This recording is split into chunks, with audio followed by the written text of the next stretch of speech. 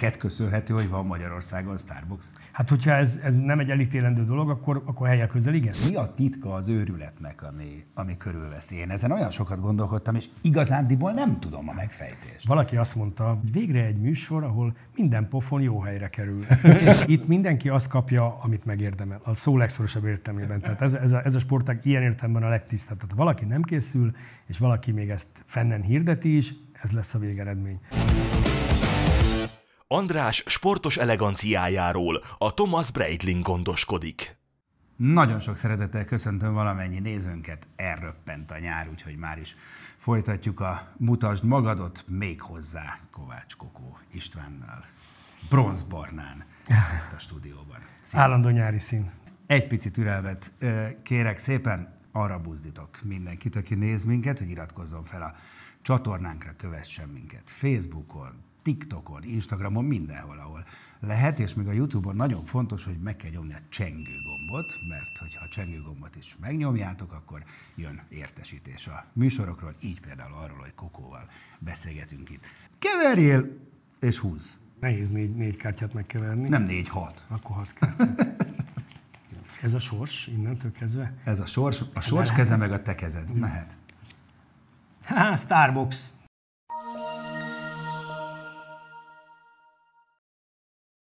Kezdem a legelejéről, hogy hogy került Magyarországra Jó. a Starbucks. 2004-ben, amikor én az RTL reggelében dolgoztam, és akkor az Árpa Attilával viszonylag jóban is voltam, mert ugye akkor a kreatív producer, most is jóban vagyok az Attilával, de ő volt a kreatív producere az RTL-nek, és szerintem egy időben néztük, én is akkor még ugye nemrég költöztem haza, két évvel ezelőtt költöztem akkor haza Németországból, és én akkor kint rengeteget néztem német RTL-t, német Szat egyet, meg német televíziókat, és azt hiszem, hogy a német RTL-en ment akkor a, a sztárok a, ringben. Nagyon megtetszett, nagyon megtetszett a, a, a műsornak a formátuma, meg az egész, és akkor fölhívtam az árpát.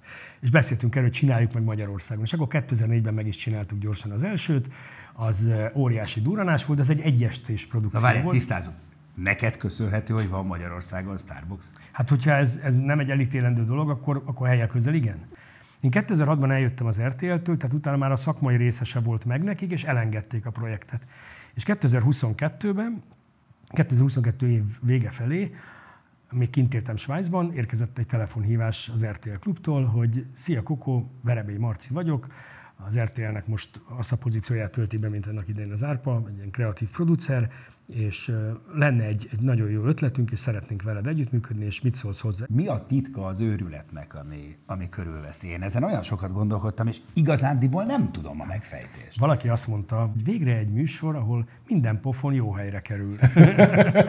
egy kérdés megkerülhetetlen. Nem. nem forszírozták, hogy be kéne menned a ringbe, és boxolni kéne egyet? 2000... Nem tudom elképzelni, hogy ez nem pattant ki valakinek. Nem, én most Kom- szerencsére már nem. 2007-2008-ig szinte minden évben az RTL-nek a karácsonyi partiján, Dirk Gerkens, talán még emlékszem, emlékszem volt az RTL-nek a főgóriában abban az időben, minden évben oda jött hozzám, hogy itt egy papír, írjak rá egy számot. És mindig mondtam neki, hogy nincs, nem tudom, kicsi a papírra, hogy nem tudsz olyan számot, nem, de nincs. De az olyan nincsen, mindenkit vissza lehet hozni, mindenki, írd le azt a számot, amivel, és mondtam, hogy nem. Én egyszer meghoztam egy döntést, az a döntés végleges. Edzésen még egyszer-kétszer szorítóba léptem, most a, pont a rólam készülő film kapcsán kesztyűztem egyet a bátyámmal, meg elmentem Öcsi bácsival egyet edzeni, de az, hogy én éles körülmények között szorítóba... Nincs az a... Ugye nemrég találkoztál Nincs. Csakonnal, ugye? Igen, ugye? Igen. Tehát például tényleg, ha valaki letenne egy ilyen De Bianco, ne, tehát nincs az a pénz, ami nincs. Erre boxolnál még neked, egyet nem, vele. Nem, nem, nem. Aha, akkor még egyetlen egy dolgot árulj el, aztán tovább megyünk. Nézőként nekem mondjuk Kabát Petinek a sérülése rémlik, amikor ugye egy kicsit a szívemhez kaptam. Mi hogy, történt? Hogy úristen, e, neked volt-e, tehát volt-e adáson kívül, vagy adásban olyan pillanat, amikor, amikor te mondtad azt, hogy hú, hát mert azért ez mégiscsak azért egy, egy ütős sportág. Az ökölőves ilyen. Ha valaki ebben él, én nagyon sok, ennél keményebbeket is át kellett már élnem, sőt volt Sajnálatos módon a, a supervisory pályafutásom alatt volt olyan, amikor elvesztettük a, a versenyzőt. Egyetlen egy ilyen volt szerencsére. Nem ott a szorítóban, hanem a későbbiekben. Hogy és utána meghalt? Vagy? Hm? Nem mondom, hogy, hogy a, ez a sportágra jellemző lenne, mert naponta több száz, vagy több ezer, vagy több tízezer mérkőzést rendeznek szerte a nagyvilágban, és azért ez, ez nagyon ritkán fordul elő, de előfordulhat. Mint hogy egyébként a labdarúgásban de... is előfordulhat, meg bármilyen más sportban. Igen, csak ott ugye felkészült élsportolók, itt azért mégiscsak amatőrök nem, nem, nem, verik nem, egymást. Nem, félreértés ne Én itt szinte nagyobb biztonságban érzem. Komolyan? Hát persze. Hát itt nálunk én köteleztem, és szerencsére minden bírón be is tartja ezt, amint egy pici veszély van, amint látszik, hogy, hogy nagyon, nem kell, hogy földre kerüljön, csak nagyon megvan, azonnal be, be kell szüntetni, köszönjük szépen, nem akarjuk, hogy az összes verset elfelejtse, amit eddig megtanult a színész kollega, úgyhogy, de ne, szerencsére tavaly is, bár voltak nagyszerű mérkőzések, nagyon izgalmas meccsek, Bras Bence, K. Kevinnek a mérkőzése, gyönyörű szép volt az a felütés, amivel leütötte, vagy, vagy akár a, ez a Kabát Péter ugye Rácienő mérkőzés, de, de nem ezek maradtak nekem emlékezetesek, hanem azoknak a versenyzőknek a felkészülése, akiket hát úgy vittünk le a terembe, hogy majd nem be kellett rángatni, és aztán ott, ott, ott előbújt belőle valami, és lett például a Molnár Áron, én emlékszem a Molnár, vagy a Pintér Tenya, emlékszem az első edzéseik egyikére, amikor még egyáltalán nem látom, hogy ezekből lehet valamit csinálni.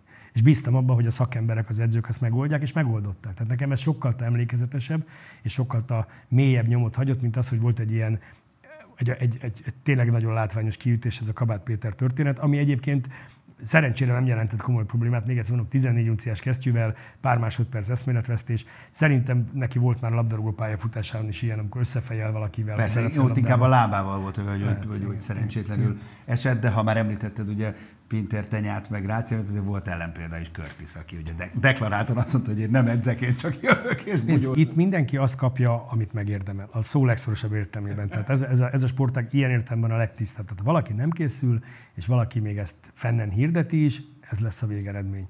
De de ez sajnálatos, mert ez, ez magát járatta le, ha, ha lehet ilyet beszélni, mert azért a, a széki család azért ez egy tradicionális eh, jó kis. De itt ez bebizonyosodott, hogy ez kevés. Tehát az, hogy jó vére van, ezt tudtuk, ez, ez, ez egy becsületes dolog, de felkészülés nélkül szorítóba menni, ezt nem szabad. Valóban. Na, szerintem ezt kimerítettük, ezt a témát. Újra, újra keverem. Rendben. Jó. Fradi,